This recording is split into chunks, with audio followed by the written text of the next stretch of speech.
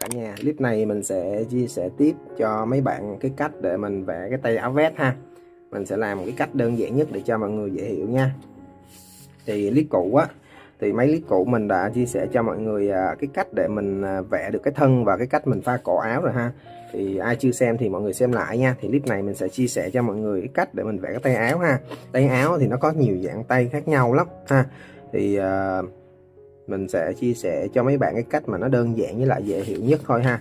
Đó thì tay áo thì mọi người cũng thấy ha cái tay dạng mập mập và tay dạng ốm ốm như vậy. Ốm ốm vậy thì ít gặp lắm thường là tay vest thì nó sẽ như vậy ha.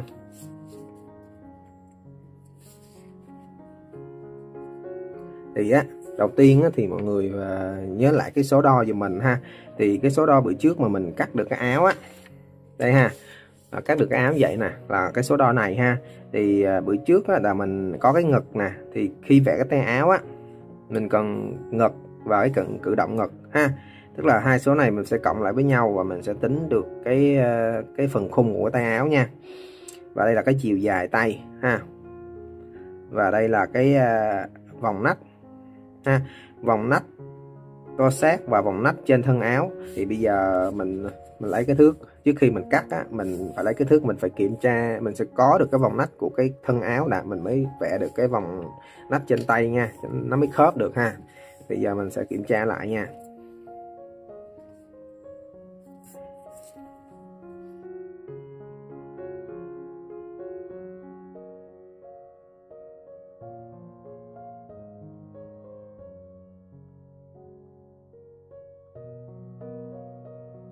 Khoảng đây. Ừ, khoảng đây thì mình phải trừ cái phần này đi nha. Nè đây mình đo vòng mà. Lúc mình cắt là mình cắt cắt cắt cắt cái này phần này đi nè. Thì ra thì mình trừ đi thì nó sẽ còn khoảng 53 cm nha. Đúng không? Vòng nách của mình nó sẽ là 53 ha. 53 nha. Thì mình đi ghi vào đây đi ha. Vòng nách trên thân áo của mình á, là 53 cm đó. Thì bây giờ mình phải cắt cái tay cái tay á, khi mình cắt xong á, nó sẽ lớn hơn. Cái ờ, 53 này nó là khoảng 4 đến 5 phân ha. Thì khi mình cắt xong thì nó khoảng là 58 57 58 là được nha. Rồi, bây giờ mình sẽ chia sẻ cho mấy bạn cái cách vẽ nha. Thì đầu tiên mình sẽ có cái khung cái khung tay trước đã ha.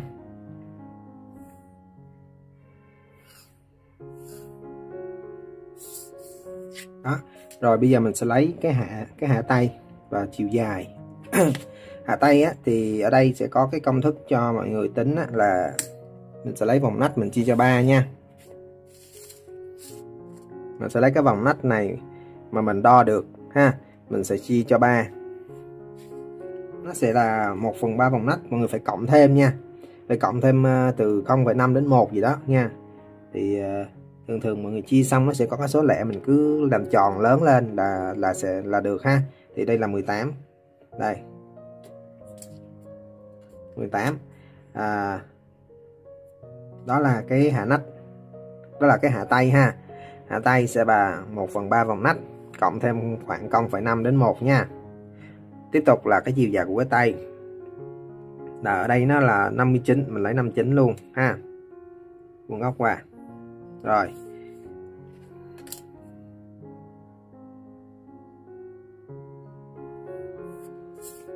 Rồi bây giờ là cái rộng của cái tay. Ha cái độ rộng của cái tay này mình không có đo theo bắp tay mà mình cộng được nha. Nó sẽ hên xui lắm. Nên mình phải tính theo cái ngực ha. Tại vì khi cái áo ôm á thì nếu mà mình tính theo cái, à, cái ngực á, thì khi cái áo ôm thì cộng cử động ít. Thì cái ngực thì cái tay này nó sẽ nhỏ lại nha. Và nó sẽ nó sẽ khớp với cái vòng nách trên cái áo nha. Thì ở đây mình sẽ có là ngực cộng cử động rồi nha. Ngực cộng cử động rồi, đây. Ngực cộng cử động rồi. Đó. Mình lấy à, ngực cộng cử động rồi, mình chia cho 5 ha. Rồi, đây ha. Tức là cái cách này để mọi người có được cái khung, để mọi người vẽ được cái cái tay áo thôi nha còn lúc mà vẽ xong á mình phải kiểm tra lại. Nó mà đủ cái vòng nách á thì mình mới cắt được ha. Chứ không phải là mình cứ vẽ đúng chính xác 100% như vậy nha. Tại vì khi cắt cái áo á thì người ta cần có kinh nghiệm nữa chứ không có phải là công thức uh, như sao là mình cứ lấy y như vậy được nha. Ở đây thì mình có 21 ha. Đây 21 mình sẽ lấy đúng 21 luôn.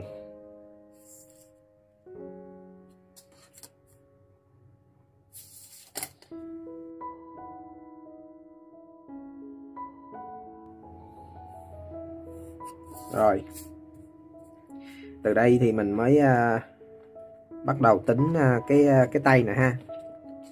Rồi hạ tay từ đây xuống sẽ là khoảng 5 đến 6 phân. Thì cái số 5 đến 6 phân này nó từ đâu ra thì nó là chỗ này nè ha. Thì mình cứ chia đôi đoạn này ra. Mình lấy ngang qua ha thì nó sẽ có cái hạ tay. Thì từ cái tay dưới nè mình lấy lên nè. Đó thì ờ, bữa trước mình tính được cái này là 25 đúng không? 25 thì mình chia đôi ra là 12 năm. Mình cứ lấy từ đứa lên là 12 năm. Thì nó sẽ ra được, có cái hạ tay chỗ này cho mình, ha. Đây 12 năm. Thì cái hạ ở đây nó lại sẽ là khoảng 5 phân trăm phân rưỡi, ha. Đó, thì nó sẽ có hạ tay đây.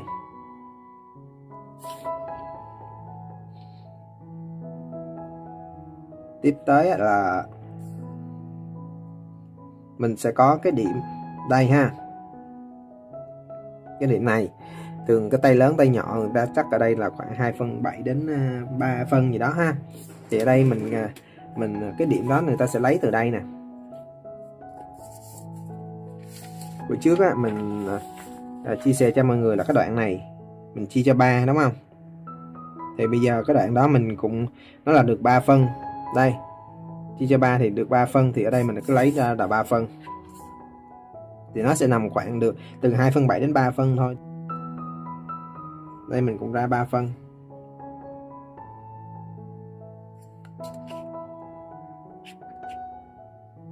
Đó, dưới này cũng mình cũng 3 phân.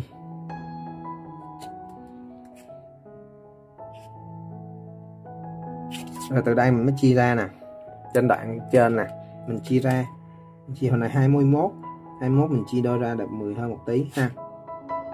Từ cái đoạn này là nó 3 phân thì mình cứ lấy cái tay con ở đây nè, ha. Nó lùi về 3 phân vô trong, để mình làm cái tay con ở đây. Và cái cái đoạn tay con này á, nó là bao nhiêu á, thì mình sẽ lấy cái đỉnh tay nó theo cái chỗ này, ha. Thì thường thường á, nó sẽ là 2 phần 3 của chỗ này nè. Đây. Cái đoạn này nên mình sẽ lấy lên đây là 3 xăng. Ha, từ 3 xăng này mình sẽ lấy 2 phần 3 của cái này. Tức là từ đây chia đôi ra. 2 phần 3 của nó nó 3 xăng 2 phần 3 của nó là 2 xăng. Đây, nó nằm nằm ở đây, nha. Từ đây là cái đỉnh tay. Từ đây là cái đỉnh tay. Mình mới nói xuống dưới.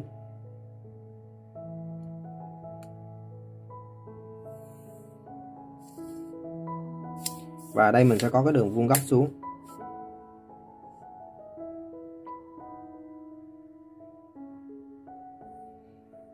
Đó là cái tay áo.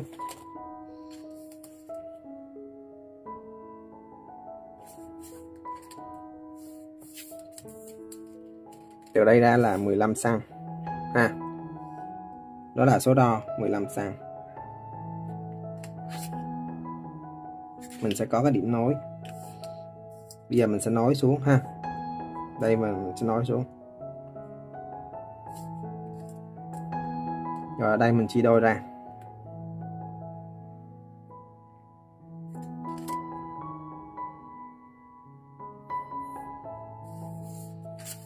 Đây mình lấy vô một phân rưỡi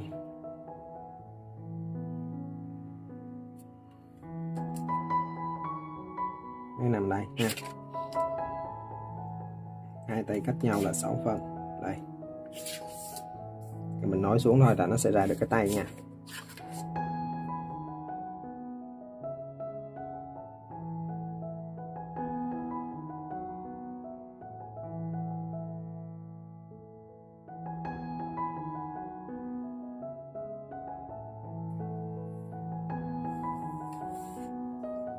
Ha đây là hình cái tay. Rồi bây giờ mình nói những cái điểm này lại với nhau thì nó sẽ à, ra được cái à, cái vòng nách. Trên đỉnh tay xuống nè mình chia đôi nó ra.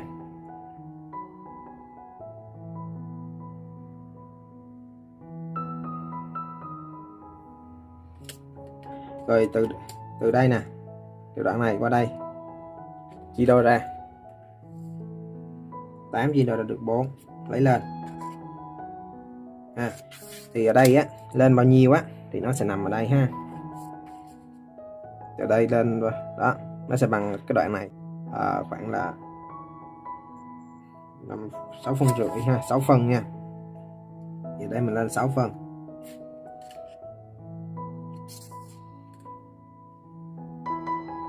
Đó cái tay này nó sẽ đi ngang đây và nó sẽ vô đây. Ha. à.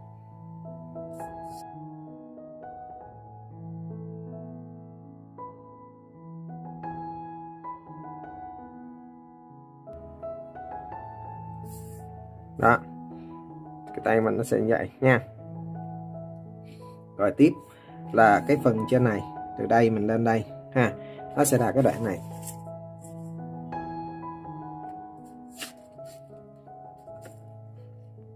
Mình đo nó là 4 phân thì mình lấy 4 phân ha.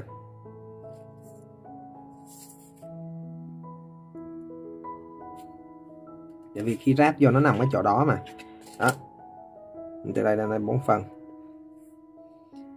cái đoạn này nè ha mình uh, đoạn này nè mình chia đôi ra. Mình nối xuống dưới.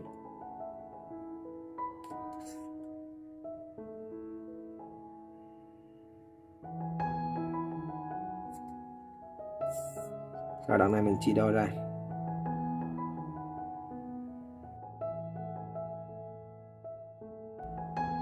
Nha thì cái tay mình nó sẽ đi uh, nó đi ngang đây nó đi qua đây nó xuống đây tức là những cái điểm này á, nó chỉ là những cái điểm để mình ướm, để mình khi mình nối cái tay thôi, nha.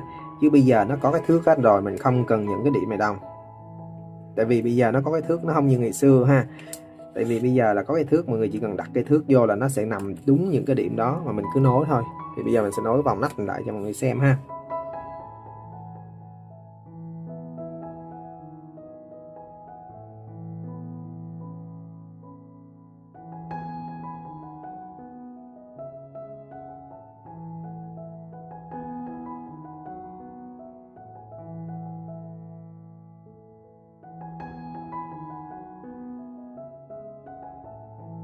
Là mình ra được cái cái tay áo của cái áo vest rồi. Đúng chưa? Nó thì vẽ cái tay vest nó chỉ đơn giản vậy thôi ha. Đây mình sẽ ghi lại ha. Từ đây qua này. Đó. Sẽ là ngực. Ngực đúng không?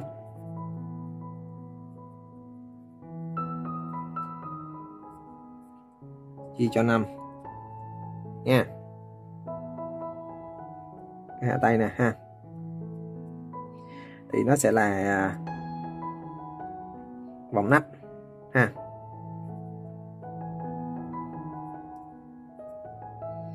Vòng nách trên cái thân áo chia cho 3 đó.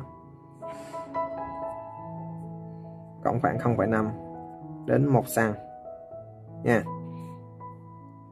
Thì trước khi mọi người vẽ những cái đường này nè ha. Mọi người phải biết nó à, có khớp với cái vòng nách của trên cái thân áo hay không, rồi mình mới vẽ mình mới cắt ha. Để mình biết chắc như vậy á, thì mình, để mình vẽ tiếp á, thì mọi người, khi mà mọi người có những cái điểm này nè, ha, mọi người kiểm tra lại, ha. Hai cái điểm này nè. Đó, cái chỗ này nè, đường này á, nó sẽ là cái vòng nách chia cho hai nha, trừ đi ba phân rưỡi. Đó, đường này nè. Ha, từ đây qua đây, nó sẽ là cái vòng nách chia cho 2 trừ đi 3 phân rưỡi. 3 phần đến 3 phần rưỡi á ha. Thì mọi người cứ lấy cái vòng nách thử coi. Mình lấy 53 nè. 53 mình chia cho 2 đó thì nó sẽ được khoảng 26 26,5 thì thì cái đường này đó mình trừ đi cho 3 nha. Trừ đi cho 3 thì nó sẽ còn là khoảng được à, uh, 3 đến 3 phần rưỡi gì đó nha. Thì nó sẽ là khoảng còn khoảng là 23 ha thì cái đường này nó sẽ là còn khoảng 23 đây. 23 ha. Đó 23 nè. Đó cái đường này.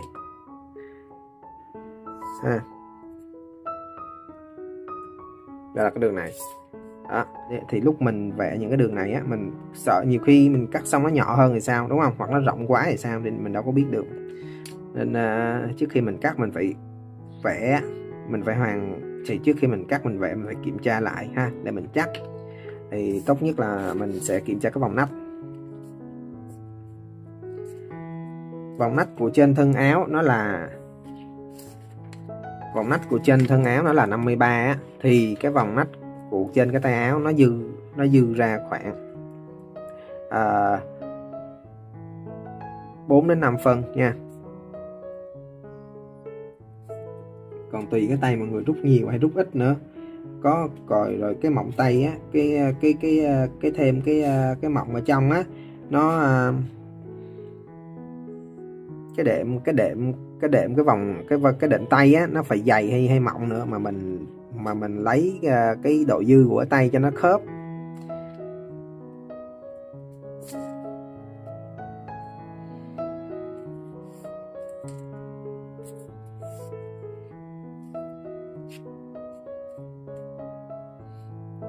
Đây. Là hồi nãy mà mình đo được 53 đúng không? Mà bây giờ là mình ở đây mình mình lấy được là 58 nè. Thì nó dư là khoảng là à, gần 58 là đúng không? Đây. 53 đây.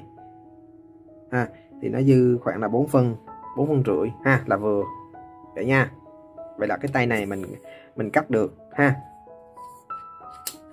rồi từ đây lên là khoảng 15 gì đó 14 15 gì đó. Mình cứ lấy lên để cho thợ nó nó có phần dư, nó sửa ha. Chứ không nhiều khi nó thiếu.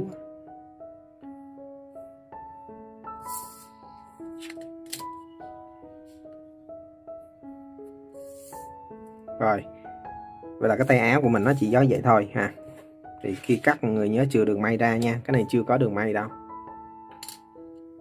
Đó là phần tay áo của mình á nó là vậy ha thì đó mọi người thấy đó.